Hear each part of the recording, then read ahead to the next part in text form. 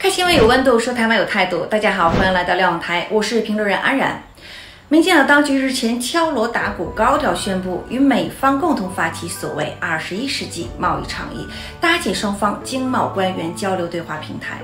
台当局领导人蔡英文在社交平台发文，难掩激动之情。行政机构政务员邓振中更是万分感动，说他为这一刻等了三十年。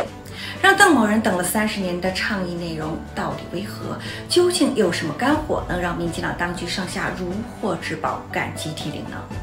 我们看倡议的首次会议将于六月底在美国华盛顿举行，届时台美将进行面对面的谈判，谈判内容将会包括贸易便捷化、公营事业、农业、反贪污等共十一项，目标是双方达成高标准且具经济意义的贸易协定。台湾青年联合会理事长何义成认为，此项协议是美国不让台湾地区加入印太经济架构的小小补偿。是否真能说的比唱的好听，再溢出个所以然，达成什么样实质性成果还是未知数。台湾网友也批评表示，没有合约，没有备忘，只有嘴炮。台湾知名时事评论员陈凤希直言，这次贸易倡议充其量就是一个对话平台，其中绵里藏针，陷阱多过于牛肉。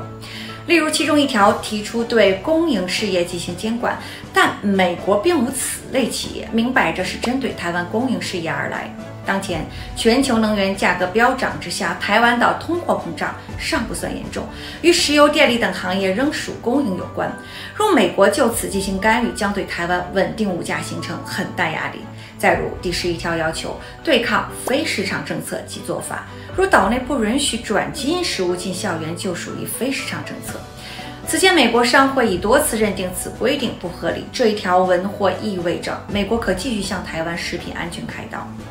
民进党当局沉迷政治自嗨，吃苦受害的却是台湾民众。美方执意打台湾牌，只会将中美关系带入危险境地。中国外交部发言人赵立坚就此所谓倡议回应指出，